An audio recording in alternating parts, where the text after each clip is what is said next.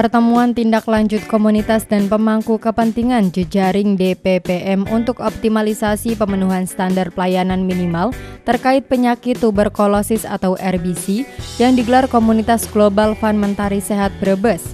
Terungkap bahwa catatan Dinas Kesehatan setempat menyebut di tahun 2022 lalu ada 5.248 penderita TBC di Kabupaten Brebes.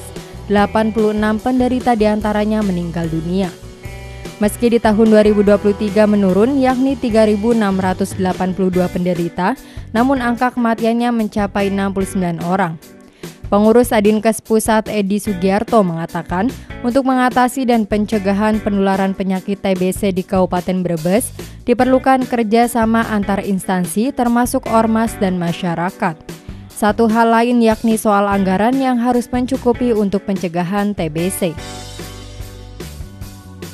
stakeholder shareholder yang ada di wilayah belum berbarengan Pak dan penganggaran juga masih belum optimal tapi intinya lewat pertemuan ini mudah-mudahan public private mix ini bisa terungkit lebih optimal.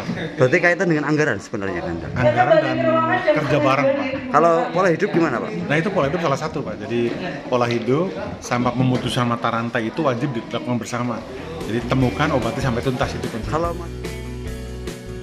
Sementara Kabit Pencegahan dan Pengendalian Penyakit Dinkes Brebes, Ignatius Adi Pujo mengungkapkan untuk memutus rantai mata penularan yakni kerjasama yang baik.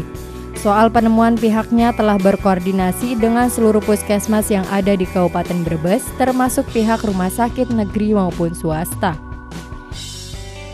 Yang pertama kami juga memperbaiki dalam uh, sistem penemuan penderita, pencatatan pelaporan baik dari institusi dinas kesehatan dalam ini puskesmas juga rumah sakit swasta juga peran dari organisasi profesi tadi. Yang mungkin ya untuk ke depannya untuk, untuk penemuan kasusnya biar bisa kita mencapai target yang sudah ditetapkan dalam SPM itu ya kita akan meningkatkan uh, peran serta masyarakat dalam penemuan kasus-kasus. Jadi kita bisa meminta bantuan masyarakat bila ada penderita atau seseorang yang menunjukkan gejala-gejala seperti TB yang untuk segera dilaporkan.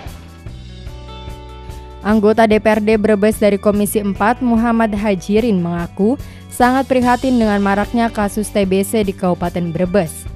Harusnya pemerintah setempat tidak hanya memfokuskan pada penanganan stunting dan kemiskinan ekstrim saja, namun penanganan TBC juga harus dimaksimalkan dikarenakan penularannya yang cepat serta mematikan. Saya menurut informasi dari narasumber nomor satu sejawa Tengah. Hmm. Indonesia TBC itu nomor satu di dunia. Hmm. Jadi sangat prihatin sekali saya sebagai anggota DPRD Brebes untuk dengan adanya pertemuan ini penanganan TBC di Brebes bisa berkurang karena Brebes dari stunting, kemiskinan ekstrim banyak sekali yang harus ditangani yang mudah itu menular juga pak ya? Ya itu. Masalahnya TBC itu walaupun nggak kelihatan tapi yang jahatnya kan menular. Pencegahan lainnya yakni pola hidup masyarakat.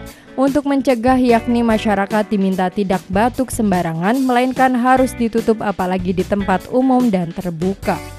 Trihandoko RCTV Brebes